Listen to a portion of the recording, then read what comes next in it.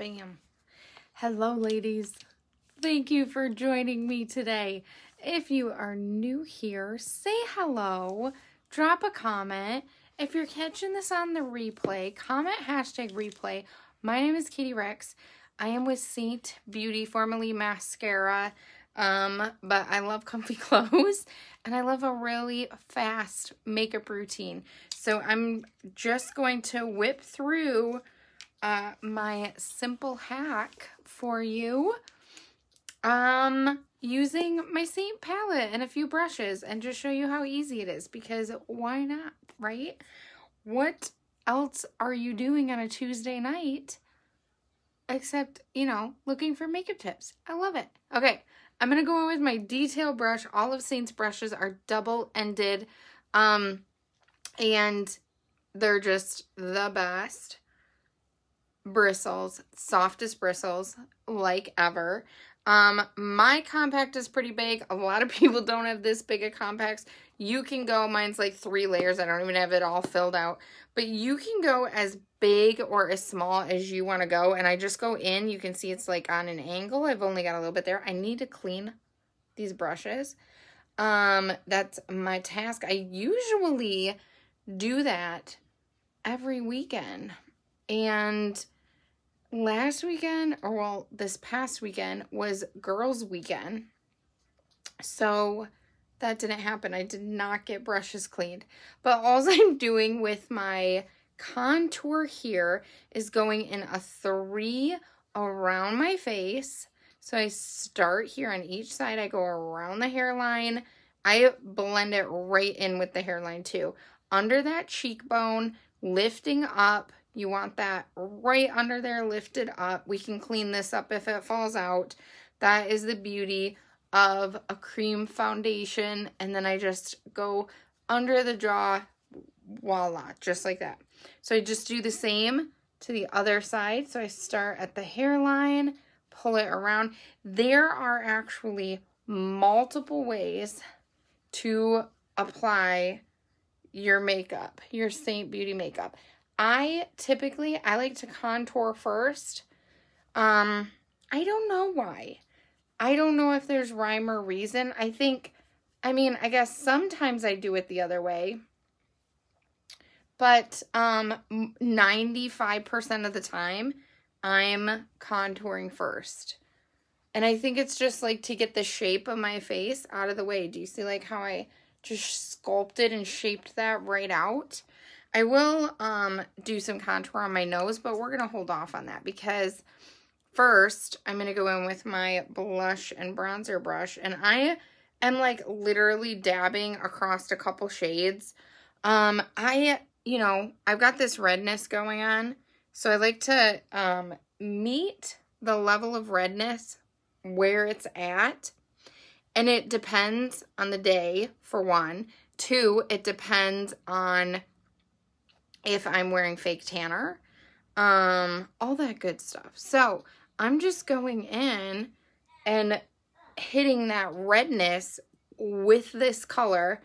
I am trained to custom color match you, um, to supply you with your own list of colors. So shoot me a DM or comment below if you'd like to get your own colors. Super easy, super simple. Then I'm going to take this uh, very small detailed end. These are my two go-to brushes for everything. And I go into an even lighter color and I'm going to hit that right there in the corner of my eye, side of my nose. Bam. I'm going to hit it out here on the outer part of my eye. What we're doing is we're brightening. We're brightening this area up. Do you see that? Then we're going to blend it and it goes so quick. I'm going to do just a little like shoot shoot down the middle of the nose, a little over the brow area. Boom. Can you see it just brighten everything up? I like to go under my nose, on my chin, and then I actually like to take this and and go under the the contour and clean that contour up. And it's amazing because like I'm using the same brush that I even contoured with and it just blends. All of the cream foundations just blend so effortlessly. Boom, boom. So now I'm just like blending all these colors around my face. That is how quick and easy and simple this process, this hack, highlight and contouring really is. Boom. Then I'm going to go in on the side. Hey, Kayla. Thanks so much for hopping on. I'm going to contour my nose. So I'm just lightly dusting that on, and you can see I get it on the, up on the bridge of the nose, okay? You want it up on the bridge of the nose because that is going to give you the illusion of that nice thin, do you see that? The, the closer you can get these together, the better. And then I just kind of touch, boom, blend, blend that out, boom, boom. Want it up on the bridge, not on the sides of your nose. So that's like my main foundation. That's how I do my main foundation. And then I like to go in, we've got Bella Bronzer here, so I like to put her, she's got some amazing warmth. I like to put her up there on top of my cheeks. And she just brings this warmth to my face. I like to go across the forehead. She helps to also like just kind of blend in your contour and your brightener color. And I just, I mean, She's just amazing. In the temples, up on the cheekbones, on the nose, on the chin. She, for me, especially, like I said, I'm a fake tanner. And when I wear my fake tanner, my face is a different color than my chest. And so Bella just helps to like bring that down a little bit. Um, all right. So like main face, almost done. I still need blush. I can't not wear blush. So I'm going to go on the same side. I'm going to go into this color Sandstone. And I like to place my blush back here away from the apple of my cheek and just like, I don't know, swoosh up to the hairline and then maybe circle just a hair into the apple of my cheek. That's what I like to do. I think it gives a very uplifting effect and it doesn't get all the pigment right in the front of your face. And because they're double-ended brushes, this big poofy end is a beautiful little buffer all around. And that's really it, like for the face. That's what I do. There's, you know, illuminators, there's setting powders, there's so many other things that you can pop on there. Um, in addition, but that's like my basic quad palette four hack. That's what I do. Okay, next. Most people do not fill in their brows. It's just like not in their daily routine and that's okay. Um, but I just want to show you the difference in the brightness you can bring to your eyes just by darkening your brows a couple shades or I don't even want to say darkening them, but just like filling in the gaps where there may not be as much. So I'm actually going to start right in here. And I, do you see where that like wasn't there? Because Lord knows we've all over tweezed at some point in our lives. And then I like to start at the top. And just fill in that arch. Gorgeous. Do you see how it's already bringing such shape and dimension there. And, and what I'm doing, I'm actually going into our eyeshadow color. So I like this color Trust. And I'm tapping off the excess. And this is our Hotline brush. And it has this detail end. You can see it's like beveled. It's on an angle. It is amazing.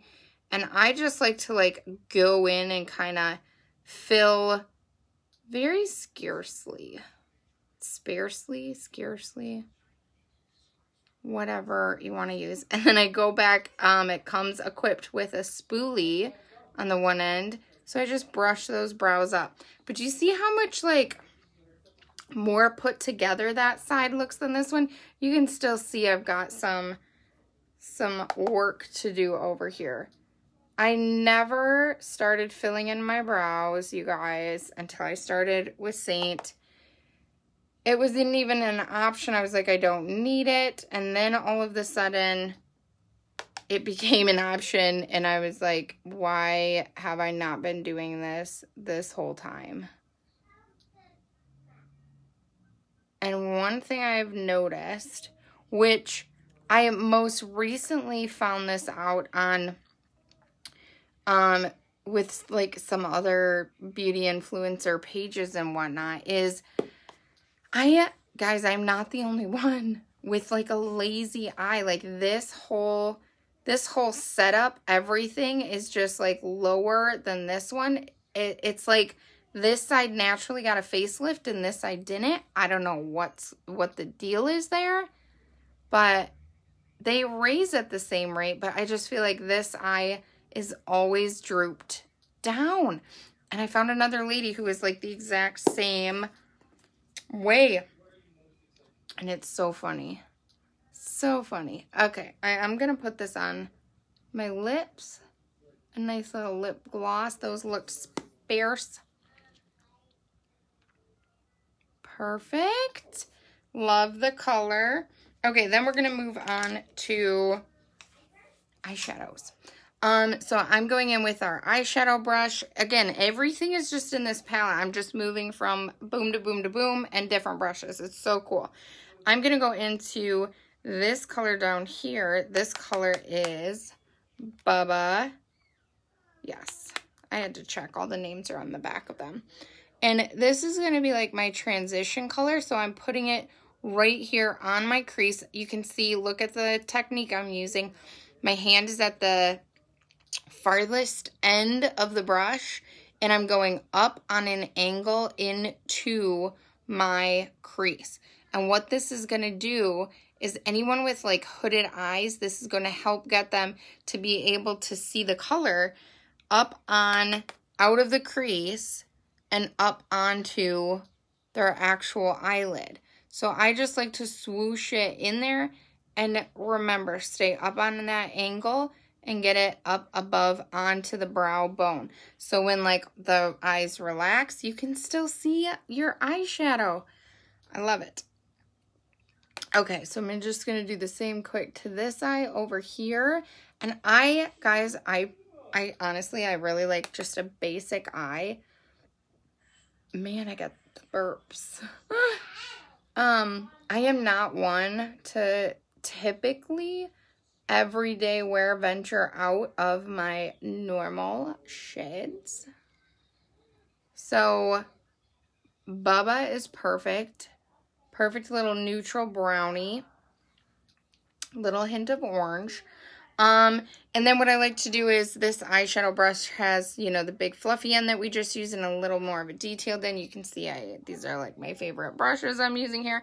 I'm going to go back into that color Trust and on an angle there, so I've just got the product on one side, not on the other side, I am just going to tap on the outside of that lid, just tap right here in like a C shape, boom. So I'm going a little on the lash line and just tapping up into that crease. Do you see that? Then I'm going to take that puffy end again and I'm just going to lightly mist mist. I'm creating new makeup words and concepts, but I'm just like blending those just a little bit more so together. So I'm to do the same with the other eye. Go into Trust, tap it off. I'm to start here on the outside. I'm to see around like so. You want me? I'm almost done, honey. You will give me kisses? No touches. No kisses? Oh, thanks. Touches and hugs. You want to give me kisses and hugs? Let me go. Are you coming up? I don't think I need any of these. Come me up. Come on. I'm way up high. Can you get up here? Can you get up here? There. Okay. Do you got chocolate on your face? Mm-hmm. Can you say hi to the ladies? Don't kick it. Don't kick them. Hi. Okay, but don't kick them. Well, they can't talk back. they can just type because we're just the ones talking. Okay, you good? Uh-huh. Can you see? Yeah. All right, ladies. So we've got that C shape with that darker shade on both sides. I'm actually going to use my finger and go into this color. It's called Stardust. It is amazing. All of our shades are so pigmented. And I just like to use my finger and get it on the lid there. So we're going to do the same on this side. And then I'm going to show you a little hack. If you have trouble getting your eyeshadows, I'm going to put a little right under the brow too. Just a titch, not like a whole bunch. Don't kick. Hi. Don't kick, okay? Ah. Um, okay. So now that I've got that on on the rest of the lid, one thing Hey, we can hear you. One thing that you can do. This is like the last step I do before I do my mascara. okay, Hi. Is I'm just taking my brush. You can see there's pigment, but there's there's nothing coming off. But to help get those colors better blended, hold up, dude. I'm going in with my Vanilla Dust setting powder and I'm going to pull, and you can use any powder. It doesn't have to be, you know, our Vanilla Dust setting powder. What are you doing? Okay, you good? And I'm going to take it and start at my lid and just swish that all the way up to my brow. So I'm just doing. Oh, you guys are getting the real glimpse it. at my life. Do you see how much more that side is blended it, than the other side? Let me hold it. You're gonna hold my compact? Uh-huh. Okay. And tap off. And okay, be careful. Start there at that lid, and it just helps to blend all your colors together. What? What? Blend that? them out. What? What is that at shape? Awesome. What's what shape? The thing. Shape. And then my mascara of choice is Thrive by, um, or Liquid Lash Extension by Thrive. Tag. Okay, can I have my mirror? Uh-huh. You make me nervous like you're gonna stick your finger in one of them. Would you do that? You good? You coming back up? I'm almost done, bud. Okay. And finish off with a little mascara, and that's it. It is so quick, so easy. The best part is I have like one palette, so you know when your kid's crawling on you and you're doing your makeup in the morning. you coming up? Are you coming up? Dropping up. Well, you can't jump that high. Can you? Come on. I can't. I know. This is getting to be redonkulous. Come on. Are you coming up? I, I need my. One, two. I, I, All right. Well, I'm going to finish my mascara then if you're messing around. Mister.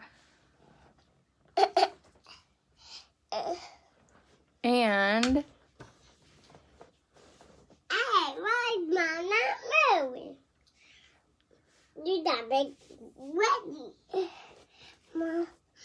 bam. I don't even think I'm going to put it. Oh, you found your way up, babe. I don't even think I'm going to put it on my bottom lashes today. Mm. Hi, Kelly. Thank you so much, sweetie. Boom. You better not be, you little turd. Oh, child. And that's it. That is it. Everything in one compact makes it so easy, so nice, so easy, so flawless. Can you can you say goodnight? Good night. All right, head out, bud. I'll be there in two seconds. Whew, so thank you guys so much for joining me tonight. Um, I hope you have a great rest of your week. Mm. He's not gonna leave. That's okay. We're done here. All right, Are you done? I'm done. Already? Already, is that okay? Uh, Were you coming to mess with me? no. No. Have a good night, ladies. Bye.